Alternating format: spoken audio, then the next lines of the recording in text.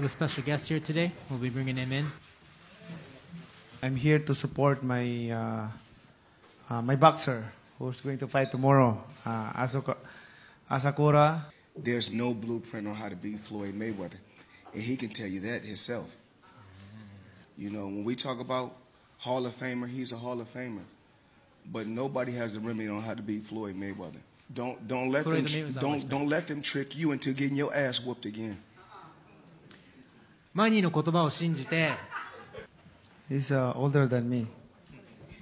Oh,です I'm still young, so uh, what I have done and accomplished in boxing, I think uh, it's one of a kind because um, to get a uh, eight different weight division is not that easy. And I'm not uh, trying to boast my what I have accomplished in life, but uh, I'm just saying this to repeat. My, might you might uh, forget that the best fighter in the world uh, has a uh, humility.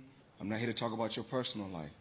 When we talk about, you know, what's going on inside that square circle, I'm the best. No matter how you rate it, no matter how you cut it, no matter how you slice it, no matter if you go to 100 years back, 300 years back, all the way to now, there's only one best, and that's Floyd Mayweather.